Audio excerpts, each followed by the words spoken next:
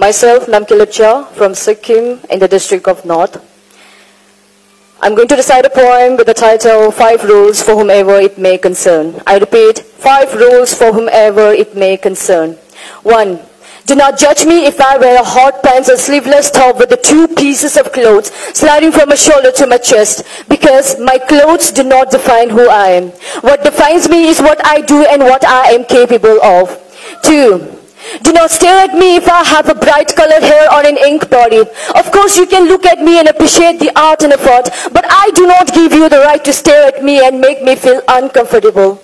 It is an act of bravery, bravery of being different, of being unique, of not being afraid to experiment, or not an open invitation to laugh or mock at.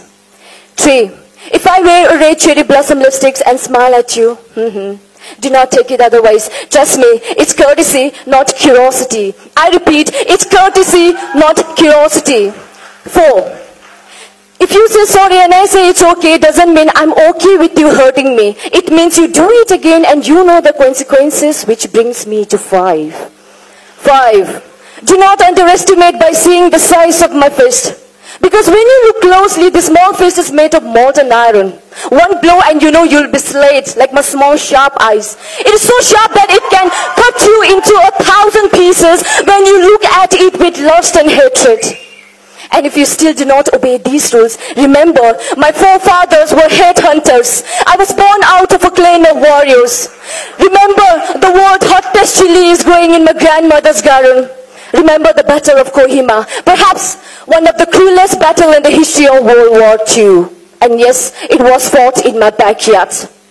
But dear, if you smile at me with love, kindness and oneness, I will be your friend. I will take you to the places where you haven't been before, from plains to mountains, rivers to valleys. I will narrate you the folk tales which were passed down to me by my grandfather and which were passed down to him by his great great great grandfather. I will tell you the story of the man who turned into a flower, a baby who turned into a ladybird. I will sing you a melodious song like a bird chirping all day long. I will leave you a friendship band made of silkworm. All I ask from you is, dear, please, do not judge me on the basis of my feature or of my dress. Thank you so much. Once again, good evening.